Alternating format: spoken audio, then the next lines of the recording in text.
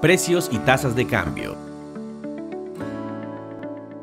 Los precios se definen como la cantidad de dinero que se debe entregar a cambio de un bien y servicio. La tasa de cambio hace referencia a la relación entre una moneda local y una internacional.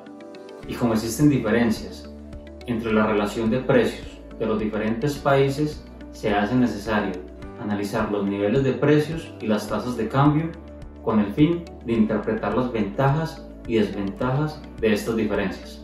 Entre las tasas de cambio encontramos la tasa de cambio nominal y la tasa de cambio real.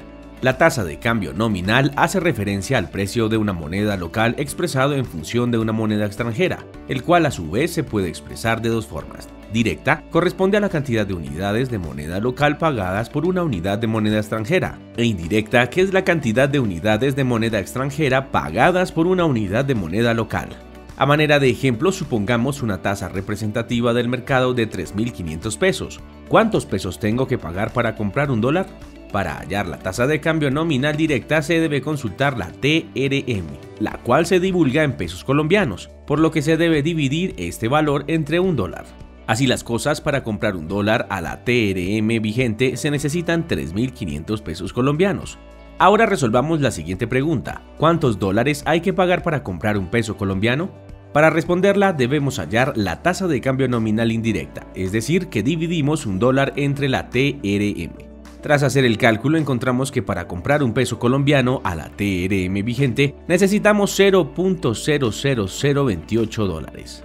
Por otra parte, el tipo de cambio real expresa el precio de los bienes y servicios internos, P, en términos de los bienes y servicios externos, P asterisco, o sea, P sobre P asterisco es decir que los cambios dados en el tipo de cambio nominal impactan el precio que se debe pagar por las importaciones. De igual forma, el precio que deben pagar los países extranjeros por la exportación de bienes y servicios.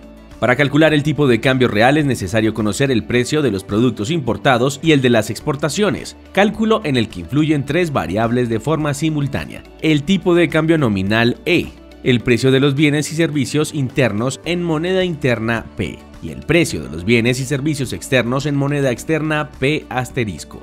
A manera de ejemplo, calculemos el precio del café, que es un bien interno, en función de los televisores, que son bienes externos. El precio de un televisor en Estados Unidos es de 500 dólares, mientras que una carga de café en Colombia vale 950 mil pesos y la tasa representativa del mercado es 3.500 pesos. Para empezar, expresamos el precio del café en dólares, es decir, que 950 mil pesos por 0.00028 dólares es igual a 266 dólares. Si calculamos el cociente café televisor, tendremos que 266 dólares, que vale la carga del café, sobre 500 dólares, que vale un televisor, es igual a 0.532.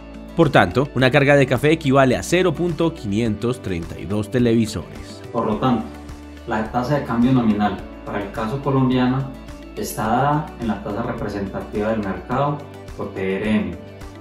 La TRM afecta de manera positiva o negativa la tasa de cambio real y la tasa de cambio real afecta de manera directa las importaciones y exportaciones del país.